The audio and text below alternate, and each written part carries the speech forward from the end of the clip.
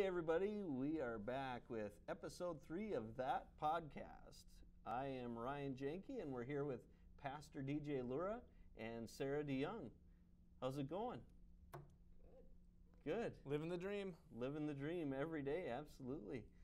So, how was how was everybody's Easter? Easter was fantastic. Uh, for me, it was really cool because it's been a long time, like decades, uh, where I've gotten to, to be in worship with my family rather than in the role of pastor. So I got to be dad. Yeah. Uh, you know, we with uh, you know our senior pastor Paul Cross doing a phenomenal job leading worship on Sunday and preaching. I got to be at home with my kids and um, and experience worship on the other side of the screen during this this you know with our online worship and and it was really cool. Um, we did communion, and my girls, uh, uh, who are both um, middle school, high school age, Mhm. uh, got up, and my younger daughter got the bread and broke it into four pieces, and my uh, older daughter got the little uh, sippy cups that we had for, for wine. And um, uh, when, when Pastor consecrated the elements through the words of institution and then commissioned those to distribute who have the elements, he made preachers out of my kids. And my daughter came over and was like, the body of Christ given for you, the blood of Christ shed for you. And it was, it was really cool. And then all of us who were of communion age, uh, my daughters, my wife, and me, we all uh, laid hands on our, on our young son and blessed him after the fact. And so it was, it was very, um, very meaningful to me. I really enjoyed it. Yeah, that's cool. very blessed. I bet it's been a while too since, um, even if you were actually at whatever church you were serving at, it's probably been a long time since you even just sat back and and enjoyed the the worship as you know, not up on in front of everybody preaching or or doing anything. Well, yeah, it's it's uh, even pastors are worshiping, but there's the added responsibility of their office in leading orderly worship, and to be able to be in that state of rest and um, obedience to the Word of God, and to just receive it, to just you know Yeah. be there like everyone else, just just uh, believers who are are coming uh, in repentance to receive the Word of God is is something that's very special Yeah, and and is needed. right. Yeah, for sure. How about you, Sarah? It was good. Um, it was really cool to see. I had a lot of friends. I think last week you had said, DJ, about all you need is a crumb of bread and something to drink. So I got a lot of Snapchats from my friends that morning. Were like, we didn't know communion was happening because I for weeks have been like, hey, swipe up, you can watch church with us here. so finally, and like, so I was getting pictures of my friends like with waffles and whatever like bread and drink that they had. They're like, this will work. But they all loved it, so that was really cool to see. And I have a friend who, her and her fiance live in, separately from her sister and her husband live separately, and then her parents live separately. And they all got a chance to worship together, which was really cool. Yeah. So just kind of seeing that family connection that everybody still got to have Mhm. Yeah. physically being together was cool. Right. How was your Easter, Ryan? It, it was neat for me because I was here um, at the church uh, helping with the broadcast. Um, we did we recorded a few things that morning, um, but then you know we had our live pieces and we had pieces that had been recorded, you know, a week before or whatever, and it was neat for me because there were only well, there were four of us here in the building at one point, um, but then uh, uh, he left, and then it was just the three of us, just Pastor Cross uh, leading, and then I was running uh, cameras, and um, Mark was in the back with all the broadcast stuff. And what was neat for me was taking communion with just the three of us. Mm-hmm. I remember earlier this winter when we had service, but it was snowy outside. Not a, not a lot of people came, and Pastor Cross invited everybody up to the front, um, and he he distributed Yeah. to each person individually the bread and the wine.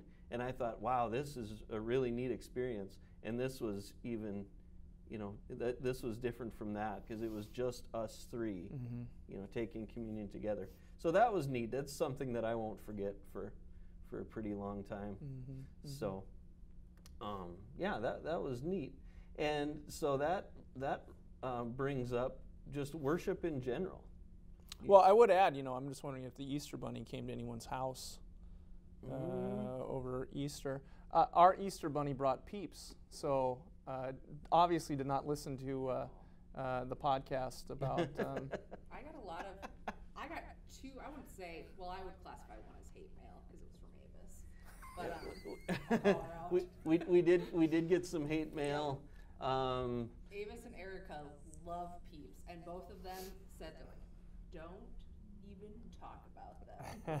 Like, get that name off your lips." But well, I th- I think Avis is brilliant, and I told her so after the fact. you know, you brought up the Easter Bunny.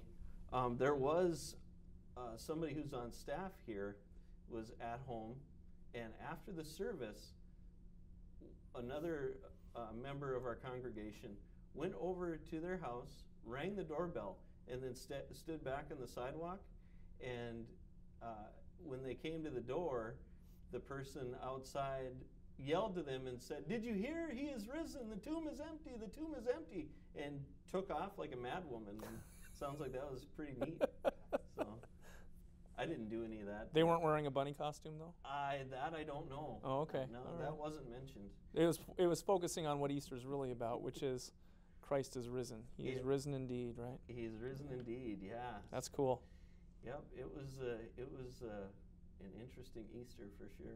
That could be a new tradition. Uh, uh, uh, not ding dong ditch, but ding dong uh, proclaim, or you know, Ding dong disciple. ding dong disciple. Ding dong disciple. That's great. I like it. Yeah. Our mission trips being postponed for the summer. That's something that could be done. Yeah. Ding dong disciple uh, uh, later on when we can hmm when we can get out and about. That sounds like a good idea. I might write that down. Ding dong disciple. Um, well, yeah, because you've got uh, uh, Ding Dong Ditch and you've got Mayday. They do Mayday baskets. There's Yeah. no reason that you couldn't do a Ding Dong disciple. Yeah. So I think we should look into it. So, um, so worship. We this was a a, a, a way to worship, right? Um, how does this fit into? Um, earlier we were talking. You talked about public and private worship. So this would be still a form of public worship, correct? In in w- uh, the way that we worshipped on Sunday, even though we were all online or whatever, Yeah. that that's a, a form of public worship. Yes, it is. It, when when the assembly of believers gather together in whatever form that takes, you know, uh, nowadays it seems like it's been much longer than it has. But you know, with uh, what's going on in our world, we are assembling um, online. Mm-hmm. Well, that's the gathering of believers in real time around where Jesus promises to be His word preached and His sacraments administered for the forgiveness of sinners. And so that is what is known as public worship, the event of worship, the experience of being in God's presence where He promises to be. Now, there's a distinction that I think is important to be made between public worship and private worship. And so, you know, when you think about worship, what, what are some of the things that you think of? What are some of the experiences that you've had with worship? So for me, it, it went, you know, it's in phases. When I was a kid, uh, like I guess I I have always thought about worship as coming to church and worshiping, singing songs, um, listening to the listening to the sermon, that kind of thing. And you know, when you're a kid, i- i- it, it consists of uh, sitting underneath the pew or laying on the floor, coloring pictures or writing all over the Eating Cheerios. and eating chew Yeah. definitely not peeps um, so uh, you know when you're a kid and then um, as you get older you're in sunday school you need to start paying attention because the, the teacher's going to ask you questions later probably and um, then you get older and and you know you get more engaged and you you listen more and, and are able to sort of be in that moment that you weren't when you were younger. Kind Mhm. of is, is how I is how I have always thought about it. Mm-hmm, mm-hmm. Yeah. Yeah, that's really good. I mean, Sarah, do you have any? Well, When you think of worship as a kid, what stands out for you? So what I one of my all-time favorite, like forever, I think will be my favorite worship experience is going to church camp growing up, and like that fireside, like everybody is just there. You're just singing songs. It's peaceful. It's relaxing, and that's probably the many times that I've felt truly like engaged with God, 100% there because there's no distractions. There's nothing going on. Everybody is on the same page and they're just there. Mm-hmm. Um, but I always think about when we brought up that we're going to be talking about the difference between private and public worship is there's been a graphic something I don't know the best word for it going around a lot on social media where it's like I believe that churches are for worshiping, but so are car rides at 2 a.m. and it lists out all these different examples. So that's kind of my question is in that scheme of things is there the difference between public and private? Yeah, yeah, I, and and I think people get it um, instinctively, but it's it's the language that we use that can make things confusing, as always, right? Mm-hmm. Uh, so let's talk about private worship first of all. Private worship is really obedience to God's word. Um, it's it's if you think about the third commandment, God says, "Remember the Sabbath day to keep it holy." Uh, there's there's two parts to that: um, the private aspect and the public aspect. Um, Martin Luther says concerning the third the third commandment, he says, "We are to fear and love God, um, so that we do not deny His word or the preaching of it, but should gladly hear and learn it and live it out in our life." So when you think about what that means, it means obedience, um, which is really when we come before God. Worship happens when we recognize that God is your creator and you are God's good creation. It puts you in the right relationship with God. Um, whenever that happens, you are worshiping. Um, now, what is worship? We think of worship often as what we do. Mm-hmm. It's not about what we do, it's about how we respond to what God is doing. So God speaks a word. We're either going to hear it and obey it, or we're going to turn from it. And when you, when you think about that relationship with God, and you are hearing God's word and obeying it, what comes out of you naturally as faith enters your heart is prayer, praise, and thanksgiving, which can happen in a car, it can happen at home with your kids, it can happen in your cubicle at your job. When you begin to recognize and respond in a moment in your day to day life uh, that God is present with you, uh, blessing you, speaking to you, uh, not in verbal words as we've, we've said before, but in that kind of epiphany moments, that, that heart language of um, God is with me. The response of the good creation is to pour out in prayer, praise, and thanksgiving. Even if the prayers are nothing more than sighs, but it's sighs that are given in faith. And that's, that's the underlying piece here it's faith. Where there is faith, you are experiencing worship in that relationship with God. Prayer is communicating with God, praise is the natural response of recognizing who you are before God and who God is for you Mm-hmm. rather than against you. And thanksgiving is the action. It's it's it's you know thanking God for all the goodness that he gives us. That's the proper relationship that the creation has with the creator. The problem is most of the time because we are sinners, we tune God out. And we're busy chasing after whatever distraction is is around us. But on the simplest form, worship is a personal encounter and relationship with the living God, where He promises to be in His words handed over, His promises handed over. So when you're opening the Bible, you can be worshiping God. When you are praying, if you take a little time each day, you are worshiping God. when you're driving in your car, I, I do this often actually. I, I, have a bracelet to remind me when I see my bracelet, I say a prayer. Um, that's worshiping God. It's recognizing that God is with you, and the natural response of the cre- creation to the Creator is worship.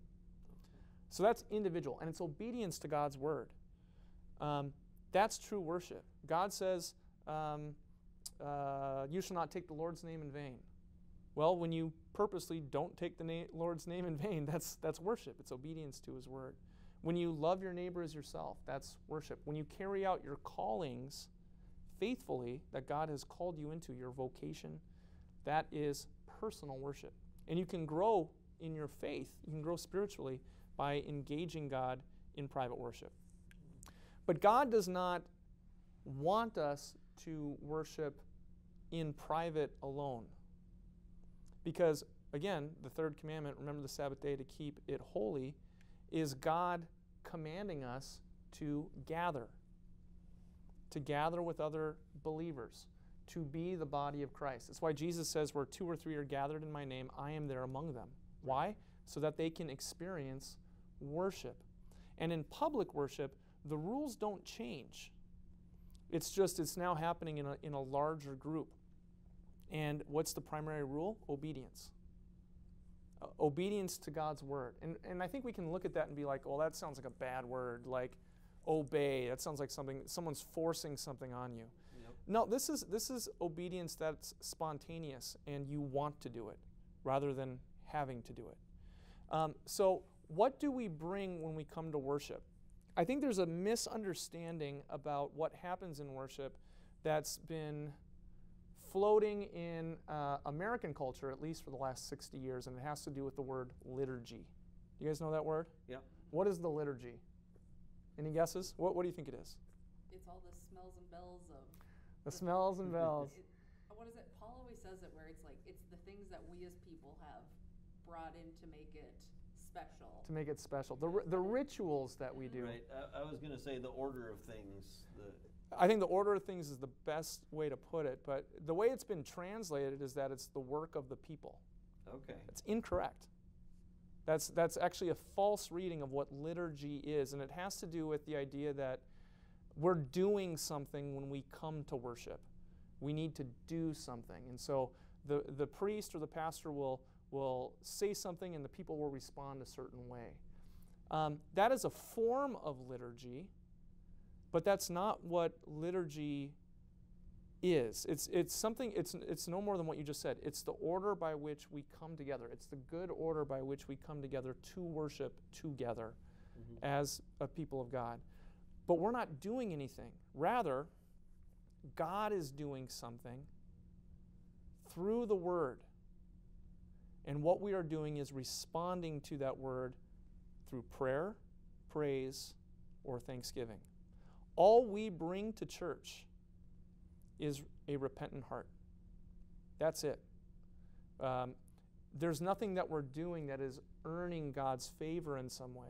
Like uh, uh, one of my favorite um, movies lately, you know, being being uh, you know uh, quarantined in the house as we start watching the Pirates of the Caribbean movies again. Yeah. So in the second one, I, I, don't know their names, but it's two pirates who were ghosts in the first one. Uh, spoiler alert if anyone hasn't seen this movie. And um, right at the beginning of the movie, they're in a they're in a rowboat and they're trying to get to, to Captain Jack Sparrow's boat. And so they're rowing to this beach, and one of them is sitting there with a Bible open. And they'd been ghosts before, and the, one guy and he says to the one guy, you know, we, we're, not, we're not immortal anymore. We got to take care of our immortal souls. And he's flipping through, pretending like he's looking at the Bible, and the other guy looks at him and goes, You can't read. he goes, It's the Bible. You get points for trying. yep. Well, you don't get points for trying. Because that's not, that's not what worship is. Worship isn't what we do to earn favor from God. Worship happens spontaneously when the Word comes to you right where you are creating faith in the heart of a sinner to believe that God is not only just and righteous, but loving and merciful to a sinner like you. Mm. There, faith happens by the power of the Holy Spirit that explodes, and the response comes out as prayer, praise, and thanksgiving. So when we come to church, all we're bringing is a repentant heart saying, Lord, forgive me a sinner. Forgive me a sinner. And in worship, the, the, the mode of it, whether it's a, a traditional liturgy that uses all the old Latin phrases like Kyrie eleison and Agnus Dei and you know all those different pieces, it follows an ordered structure that is there to teach people to receive God faithfully, to receive God's blessings as He pours out His grace over and over throughout the order of service. However, there's just as much liturgy if you understand it as the order of service and not something that the people do in a service that thinks it has very little liturgy, like, like, a, like a modern contemporary worship service. When the word is proclaimed through song, through preaching, through reading, through the sacraments, and it creates faith in your heart that explodes toward God, the Word of God is, is given through faith, for faith, for the individual to be in relationship with God in that moment. And so, what, what do you bring to worship? You bring nothing but a repentant heart. What you receive is everything through the, through the Word of God. Jesus shows up right where you are. And what ends up happening in worship is rest. Remember the Sabbath day to keep it holy, to really rest. And I don't mean sleep, although if you're in church and you fall asleep, we'll wake you up when we're done because obviously this the world has beaten you down this whole week long and you need a good solid hour of sleep. But what I'm talking about is rest. To be still and know that I am God. Psalm 46:10. To rest in God's presence and let him minister to you and care for you through the word, through, through music, through the power of the Holy Spirit. God has shown up in your midst. And we all need a good amount of rest, not sleep, but rest, to rest in God's presence. And if we're not getting it ourselves each day with just taking some time to be in the Word, to be in God's presence in private worship, that's what public worship is there to give you as well. Mm-hmm. It gives you an encounter with God where He promises to be in the word preached and the sacraments administered for the forgiveness of sinners. And when that breaks in on you, the response comes out in you in prayer, praise, and thanksgiving. So if you think about the order of service that's going on, that's what's happening. In, in both uh, our tradition service and our modern service, the pattern is pretty much the same. It's God preaches, the creature listens, and the creature then rests in God's presence and responds to God through prayer, through praise, through thanksgiving. And prayer can mean lament, it can mean pouring out, you know, forgive me a sinner. Mm-hmm. And God's word will come uh, in multiple ways over and over again. You are forgiven. You are forgiven. You are forgiven. This is what's called the absolution. And uh, some churches do a, a, a, pattern of confession and absolution where, where we join together and we say, you know, we have sinned against you in thought, word, and deed by what we have done and by what we have left undone. Uh, and then the preacher the, the, is designated by the people of God, the pastor, to exercise the office of the keys, which Jesus gives to his Christians. He says, Whatever you forgive on earth is forgiven in heaven, whatever you withhold on earth will be withheld in heaven, whatever you bind. In worship, the pastor is given that role to say the words, I forgive you of all of your sins in Jesus' name. It's not their own authority by which they're forgiving, they're only announcing the things that God has already judged. You are forgiven. And that word of forgiveness comes out in multiple ways in worship. If you go to church and you don't have that church handing Jesus over to you, it's not worship. Worship is not happening. Because worship is where you have the encounter with God through His Word preached outside of you that creates faith in His Son, in Jesus Christ. Questions, comments, concerns, queries? No, well, I, I do. I do. Um, I wrote a couple questions down. So, um, the uh, where two or three are gathered, so so I will be there, or I, I probably have it messed up, but that's all right. What does that mean for the individual then? Um, 28 chapter uh, chapter 28 verses 19 and 20 what does jesus say he says um, It- this is what we call the Great Commission go and make disciples of all nations, baptizing them in the name of the Father, Son, and the Holy Spirit, teaching them to obey everything that I have taught you. And lo, remember, I am with you Always. always to the end of the age. Um, the day you were baptized, the pastor placed his hand on your head when you were dunked in the name of the Father, the Son, and the Holy Spirit. And this promise was given You are marked with the cross of Christ and sealed with the Holy Spirit now and forever. Where two or three are gathered, we have the promise that Jesus is present in the community, in the gathering, in the event. Through our baptismal promise, you have the assurance that God is with you always. So, private worship is a one on one with God, public worship is the people of God in relationship to God. And God is still engaging us one on one in that public setting. But the distinction is when we worship together, there is good order that follows the understanding that we're coming with repentant hearts before God. Private worship is constant because it's the relationship between you, the, the good creation, and your Creator. There's no other thing that can engage you with God than worship. That's, that's, that's the relationship. It's incredibly intimate because God is your Heavenly Father, but He's still your God. Mm-hmm. And it brings another question about what worship is. Because if you show, you don't have to be a Christian to be worshiping something. You worship whatever is your ultimate concern Yeah. You know. because um, it's what you rely on. Right. That that actually um, brings up something else we had talked about. We talked about last week, and we talked about um, uh, earlier today.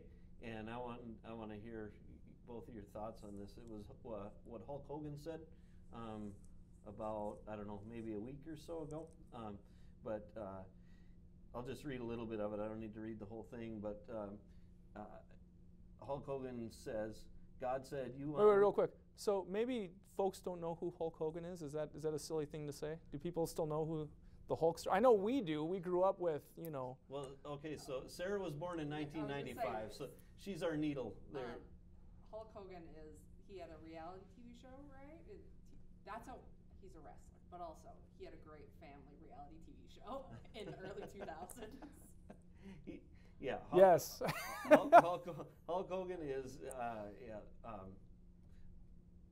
He- okay, he's this the is Babe Ruth of. thi- Yeah, and, well, this is going down the ditch a little bit here, but uh, Hulk Hogan is what a lot of people think of when they think of pro wrestling. Yeah.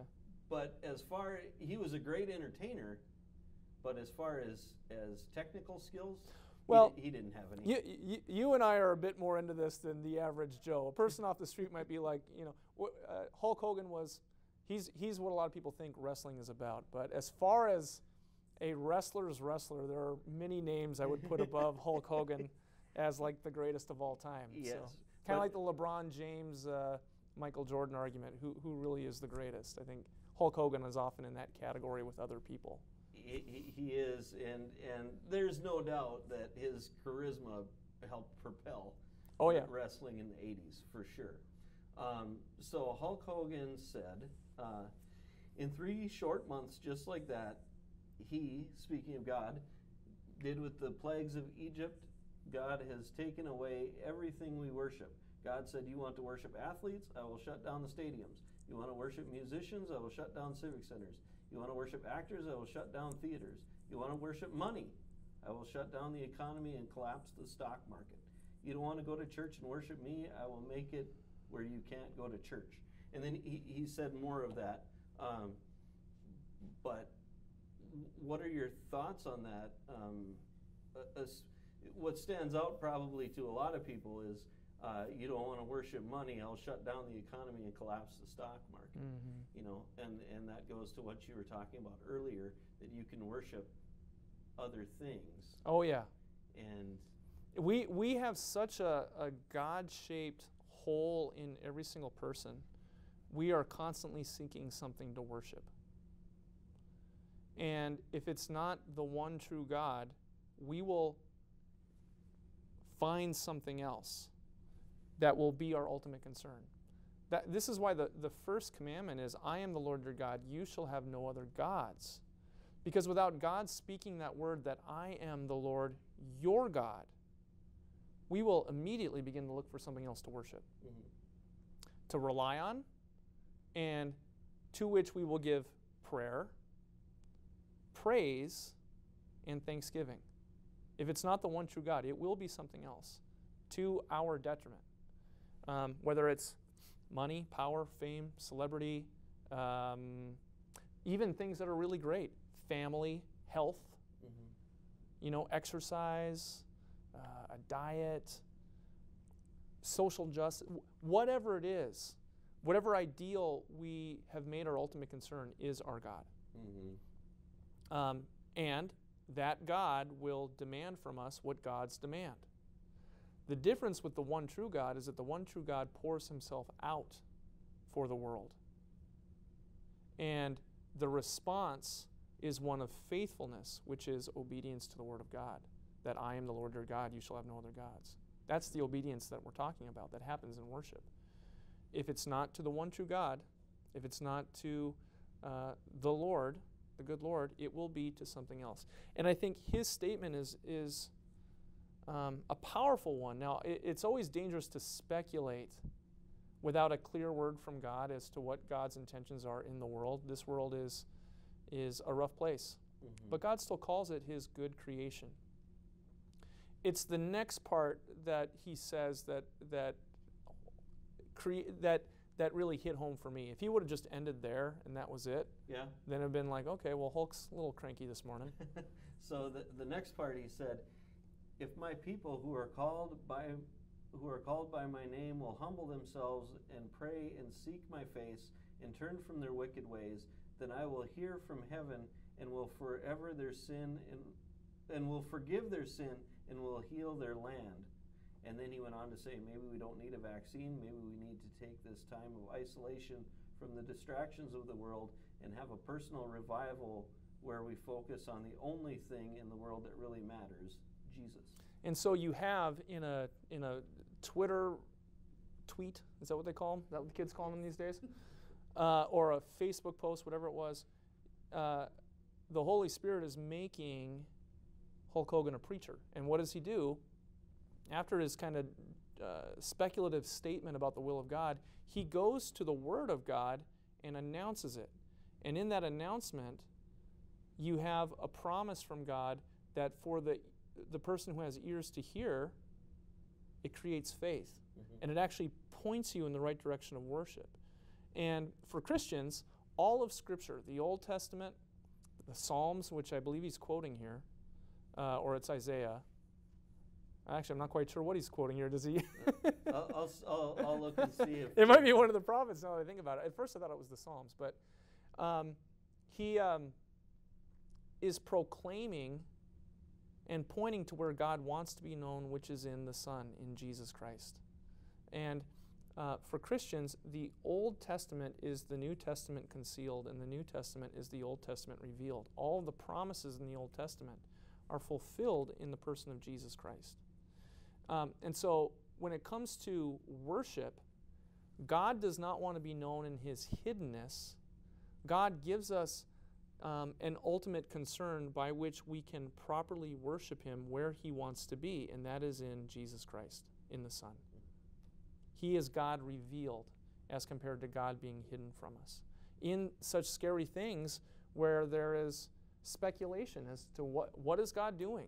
You know, the, the big complaint that you can hear from people who lose their faith is there's so much suffering in the world. I don't know why these things are happening. Um, why does God allow this to happen?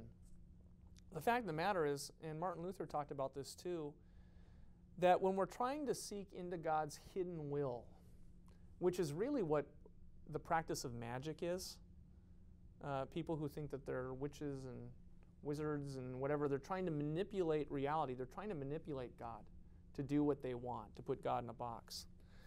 When we try to speculate into God's hidden will as to why things happen a certain way, we're never going to find an answer that satisfies us. What we're going to run up against is um, the wrath of God. And Martin Luther said that when you're seeking God in his hiddenness, there is no difference in our eyes between God and the devil.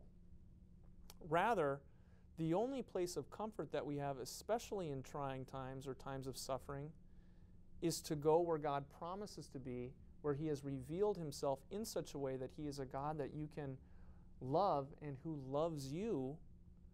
It's Jesus Christ. And so, even the hiddenness of God drives us to Jesus, where we can properly worship Him. Does that make sense? It does. Um, and and Second Chronicles. Oh, I was way off. cha- chapter seven, verse fourteen. Second Chronicles, uh, chapter seven, verse fourteen says, "If my people who are called by my name humble themselves and pray and seek my face and turn from their wicked ways, then I will hear from heaven and will forgive their sin and heal their land." See, I should have used my lifeline to Pastor Cross because he is he is our biblical scholar. Uh, as high as they come, and he would have known immediately yeah, what it was. So. Yeah, he could have told us right where to right where to turn. Yep. But luckily, we had Bible Gateway for this one. Oh, good. Well, The second best left. if, if you can't get a hold of Pastor Pastor Paul, go to Google. Yes. Yep. Go to the Google. Yeah. So, uh, so that is that is uh, uh, interesting, and it's interesting coming from a guy like Hulk Hogan. Oh, I know. You I, know. I, I love that. You know, growing up uh, watching Hulk Hogan and, you know, um, with his, uh, what did he used to say? Eat your vitamins, say your prayers, and Say your prayer, uh, train, say your prayers, and eat your vitamins. Yeah, I think it yeah. was, yeah. and I think for many of us who grew up in that age, it was like he was larger than life. You know, Oh, especially if, sure. if you were a wrestling fan. For sure. Um, and so, you know, at this point in his life, and you know, the reality TV show and everything else, you know, he's a big he's a big public figure, and it's it, you should never judge public figures by what you see on TV because it's all. Y- You're only seeing whatever um, is being put out there, and it's usually a very one-dimensional perspective. yeah. But to hear him from his own words, you know, give this confession of, of faith is just it's heartening. Yeah. And uh, you know, we all live 24 hours a day. And when Mhm. we see these people on TV, especially the reality show. Oh, yeah. What is that? Was it a half hour or was it Yeah, an hour half hour long? to an hour. Yeah. Yeah. And that was for a whole week, Mhm. you Yeah. know, or, or whatever it Yeah. was.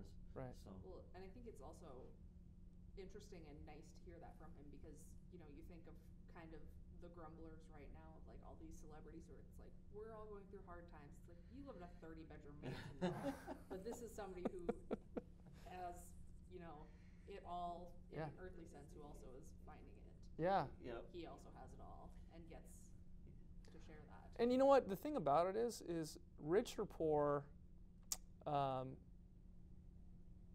male, female, wha- whatever the distinctions are that the world places on us, before the one true God, we are all the same. Mhm. Uh, we're all the same. We are all sinners in need of forgiveness, in need of a Savior. Mhm. And when that hits home, that we're all the same, Right. no one is better, no one is worse, uh, regardless of, of the worldly circumstances, uh, suddenly you begin to see your neighbor not as someone to be jealous of or to pity, but that the Lord has called you to love your brother, to love your sister. Yeah. Um, that's worship lived out. You know, we come to church to rest in God's presence, to, re- to receive a word, so that we would be empowered to live our faith day to day. And living your faith day to day is worshiping God. yeah. Right. I forgot what I was going to say. I do have another question written down though. Um, another thing that, that you said in this this um, I only mention it because I had heard it a, a couple of weeks ago in a movie, and you'll know what I'm talking about, DJ, when when uh, when I say it. Uh, whatever you hold true on earth, I will hold true in heaven. You you talked about that a little bit ago, and um, the movie Dogma sort of went into that a little bit. Um, what does that mean exactly? Whatever you hold true on earth, I will hold true in heaven. Whatever um, you uh, um, well, It, it's, the, it's the office of the keys that Jesus um, gives this promise uh, at the end of chapter uh, of John chapter 20, and I and it's, it's in the other gospels too. But Jesus says, "Receive the Holy Spirit." Mm-hmm. And so his disciples received the Holy Spirit, and in receiving the Holy Spirit, they now have eyes to see who Jesus is, what he has done, what he is doing, and are then commissioned into um, ministry, which is to be witnesses. That, that word that we use, um, the word martyr, Mm-hmm. well, it, it just means witness, martyrios. Um, we are witnesses of what God has done for us as Christians. And Jesus then gives to his disciples what's called the office of the keys, or to the apostles. And it goes like this Whatever you forgive on earth will be forgiven in heaven. So, whatever is announced by the preacher that your sins are forgiven in a public setting, those aren't that person's words. These are the words of God. Okay. Okay, this is what we mean by the office of the keys. And the pastor is not in a higher role than everyone else. When he announces it, he's announcing it for the forgiveness of his own sins too. Um, but he's put in this position with particular responsibilities. And that responsibility is to absolve in the name of Christ, to absolve all who have ears to hear the forgiveness of their sins. So the, the office of the keys is whatever you forgive on earth will be forgiven in heaven. Whatever you bind on earth will be bound in heaven. And the way this works is if you refuse to hear that your sins are forgiven, well, then your, your sin is bound because you don't believe the promise. You don't believe Jesus. That's, that's kind of the point that's being made here. Mm-hmm. Uh, in the movie Dogma, it's, it's, it's following more of a, of a Catholic doctrine of the authority of the forgiveness of sins that comes through the church and can be designated by the different statuses of the priests, whether it's a, a bishop or a cardinal or the pope, Mm-hmm. through um, something called an indulgence. And an indulgence is, is like an official statement of the forgiveness of sins to the person who receives it. And I think in that movie there was like a one time get out of jail free card if you're- pass through the arches. You're right. Yep, Right? Yep. And yep. that, that it was um, designated, I don't know if it was designated by the bishop of that church or by the pope or whatever. Um, but that's not what we mean when we talk about the office of the keys. What we're talking about is the authority to forgive sinners. Yeah. And Christians have this in their own life too. Um, it's not just pastors that have it. In, in the public worship setting, the responsibility, not the, not the power and not the rank, but the responsibility of the preacher is to announce the things of God so that God comes in our midst. Because all we come bringing is repentant hearts. Mhm. And God sends the preacher to give the response to that repentant heart, which is, I forgive you of your sins. When you're at home with your spouse, or with your friends, or with your family, or whoever it may be, and, and someone has hurt you, right? Personally, when they say they're sorry, and you say, I forgive you, as a Christian, that has not just temporal consequences, it has eternal consequences. Because the sin that was caused to you is not only a sin against you, it's a sin against God. And by announcing that forgiveness, you are absolving them of any guilt that would be held against them by God, because God says in Scripture, Vengeance is mine, says the Lord, and I will repay. Um, that's the scary part. That's God in His hiddenness. But it's, it's judgment on evil. And so the Christian is authorized by Jesus to forgive sinners. Um, it also includes withholding forgiveness for the person who refuses to be forgiven. Mm. It's not you saying, curse you. It's just saying, this person has plugged their own ears from hearing the promise of Jesus. And so it stands not as forgiveness, but as judgment on a person. I gotcha. Okay. We talked a little bit about this with the sacrament. If you're eating the sacrament and you don't want the Lord's Supper um, because you don't believe that your sins will be forgiven in eating and drinking, then don't take it Right. because you're taking it to your condemnation, not to your salvation. Well, the ministry of the church is given to the apostles and it has been passed down through the generations to all Christians. All Christians are the priesthood of all believers. The pastor is not higher than anyone else. The pastor is given a specific ministry and role that doesn't have a higher rank and privileges. It has specific responsibilities in order to make sure that the ministry of word and sacrament is carried out because it's through these means of grace that God chooses to break in on the world and turn sinners into saints through faith in Jesus Christ alone. Right.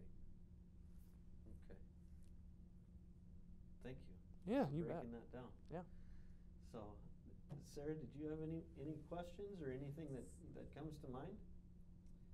Uh, This is my carryover question from last week with you talking about, I finally remembered it, um, talking about communion and you shouldn't take it unless it's, you truly believe. So how does that work then in the Catholic side of things? Because that is, like, you only take it if you are, you know, confirmed Catholic. Yep. Is that more along the lines of, in their realm of things, it's, you only believe if you believe in the Yes. Catholic Well, and branch? So there are churches that practice something um, that, that gets referred to as, as close or closed communion. Um, and what, what that is meant to do is to protect against an unworthy receiving of the sacrament. And um, for, for Roman Catholics, for some Lutherans, for, for other church denominations, there is an expectation of confession and forgiveness prior to receiving the sacrament so that you're not receiving it to your condemnation. Um, and that has more to do with church tradition than it does from any specific command from Jesus in Scripture. Um, the, the command to repent and be forgiven is, is tied not only to the sacrament but to the daily life of the Christian. And so the sacrament becomes a means by which God promises to show up in your midst to guarantee you that, yes, indeed, you, the sinner, are forgiven of all of your sins. How do I know it? I ate the bread. I drank the wine. It is his body, it is his blood. And so when the devil's throwing um, your sins in your face, you can tell him to go to hell. You ate the bread. Jesus commanded it. You drink the wine. It promises the forgiveness of sins. It is his body and blood. Um, and so for us, we don't make a distinction between whether or not you are worthy in any other regard than between you and God. Do you believe that this promise is for you? If you don't believe that, then you shouldn't take uh, of, of the bread and the wine. But if you are a baptized Christian who believes in Jesus Christ as your Lord and Savior, and you want to receive Him again this day, come and receive. Um, our more Protestant brothers and sisters um, don't, uh, don't see the Lord's Supper as a sacrament, they see it as an ordinance, that God's grace is not being handed over to them. What's often lifted up in Baptist circles or, um, or you know, the modern American evangelical circles is the idea of a personal relationship with Jesus Christ or the altar call. Um, what we do as Lutherans is every time we have communion, it's an altar call. So it's not just that I accepted Jesus Christ April 1st, 1978. I receive Jesus Christ whenever he shows up in our midst every single Sunday because I need to have my faith. I can't live on yesterday's faith. I need to have my faith renewed every single day. So God comes to us through means of grace so that we would have a big fat faith. Right? Uh, a word preached, baptism, repentance, um, the sacrament, the office of the keys, um, the, the mutual comfort and co- consolation among Christians, where that, where that key is exercised unofficially, and in public worship, where it is exercised officially through confession and absolution. All of these are means by which God assures you, the sinner, that you're a keeper, that your sins are forgiven, that new life has begun now and continues for eternity. Um, and we never move beyond that. I mean, uh, we grow deeper in our faith, but growing deeper in your faith really means that from the moment Jesus tackles you, you spend the rest of your life getting used to the fact that you have a Savior. and you quit trying to worship other things, and your worship is focused only to God, where He promises to be in Jesus Christ. Yeah. And you worship every day, And you worship every day. all day. Yeah. You don't eat once a week, It's not checking a box, it's running a marathon. right? Well, it's like, you know, when I think about faith, it's like, well, I, I believed once upon a time. It's, it's kind of like, well, that's like me saying that I breathed last week. yeah. Don't want to wear it out, so I'm not going to exercise it. Um, no, you, you breathe every day, and, Yeah. and faith is the same thing. Some, sometimes uh, repentance and faith and worship of God, they're, they're, they're synonymous. They roll together. Um, you can't worship without being having a repentant heart. You can't have faith um, without having repentance at the same time, Right. and you can't worship without those things, because worship is the outflowing uh, and response to God's amazing grace that comes to you. So you can't. It's difficult to systematize these things. Right. They all happen spontaneously in you when that word of God breaks in upon you. Excellent. Well, speaking of worship, uh, for anybody listening, uh, if you want to join us here at Atonement, um, you can find us on atonement.live, atonement.org, uh, YouTube, Vimeo, right? Um, 9 a.m. and 10:30 a.m. every Sunday. Um, and are we doing 7 o'clock as well? We're, Um, I don't know. This, yes. I think this next Sunday we are. Yeah. This next Sunday, 7 p.m. at atonement.live and .org. Atoma dot. Yes. Okay, Yep. atonement.live and .org. Um, you can you can find the links there, and at those times, um, at, at- there will be uh, chat hosts available um, who you can uh, chat with uh, about prayer. Uh, if you have a particular prayer, uh, you can come on there. Um, and if you can't join at those particular times, the services will be shown all week long. Uh, so that's a good time to come on and, and worship with us and um, check everything out. Sometimes there's shenanigans and tomfoolery on on uh, the, the different children's messages that we have. Um, Ever faithful, though. Ever faithful. yes, ever faithful. Um, and I, I believe Paul will be preaching this week. Yep. Um, Pastor Cross. Yep, Pastor Cross will be preaching this week, and, and it's going to be great again. Uh, so so please join us 9:30 or 9 o'clock and 10:30 Sunday. Um, and I think uh, think I've exhausted my. Um, hey, why don't you pray this week for each of you over the last couple weeks? You know, I thought about this because I've been watching a lot of Community in my my time at home working from home. Either of you guys watch Community? I've heard of it. no. super good show. You need watch it. But there's a whole thing where it's there's one of the guys that it's Joel McHale's character, and he always like, oh, there's seven of us, six sided dice. We're gonna roll to see who has to go down and get the pizza. And He always is the one to roll. And He counts people off. So this is your Joel McHale. moment of- there's Oh. six people. There's seven people with six sided dice.